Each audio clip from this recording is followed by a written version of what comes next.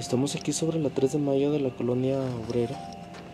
Esta mañana por aquí se detecta una persona sin vida, el cual pues hoy en la mañana lo encuentran con signos de violencia y boca abajo dentro de esa casa y pues ya sin vida.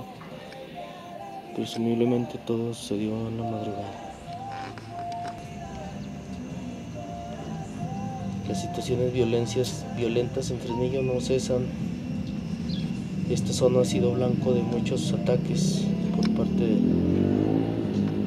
de, civiles armados y bueno pues hoy no fue la excepción.